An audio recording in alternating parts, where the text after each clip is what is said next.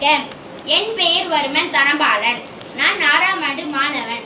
நான் தேசிய வகை சிலத்தோட்ட தமிழ் பள்ளியில் பயில்கிறேன். நான் இன்று உங்கள் முன் கூறவிருக்கும் கவிதையின் தலைப்பு தாய்மொழி. தாய்மொழி என்பது தாயின் மொழி. அது தாயும் நீயும் பேசும் மொழி.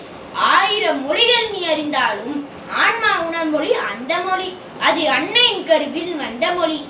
அன்னையின் மடியில் கிடக்கையிலே அவன் அன்பினை பாலாய் குடிக்கையிலே சில்லன பாய்ந்து தேனாய் திட கேட்ட மொழி. உன் சிந்தையில் விதைகள் போட்ட மொழி. தோளிலும் மார்பிலும் சாய்கையிலே தொட்டிலாடி ஓய்கையிலே ஏழிசை மீங்கிடும் இசை கேட்டே இதமாய் தூங்கிய பாட்டு மொழி. அது இதயங்கள் பேசிடும் வீட்டு மொழி. அன்னையை அழைத்தே அழுகையிலே அவள் அனைத்திட உடனே சிரிக்கையிலே தன் நிலை மறந்து தாய்மனம் பொங்கி தவிப்புடன் உன்னை கொஞ்சும் மொழி. அது தன்னையில் எதையும் மிஞ்சும் மொழி. தொல்லைகள் அறியா பருவத்திலே திரு திருத்தாடிய உருவத்திலே. பல்லும் இல்லாமல் சொல்லும் இல்லாமல் பல கதை சொல்லிய மாய்க்கும் மொழி. அது வயலுமுன் பேசிய இயற்கை மொழி. உன்னுடன் இணைந்து பிறந்த மொழி உன் உள்ளமும் முழுதும் புரிந்த மொழி.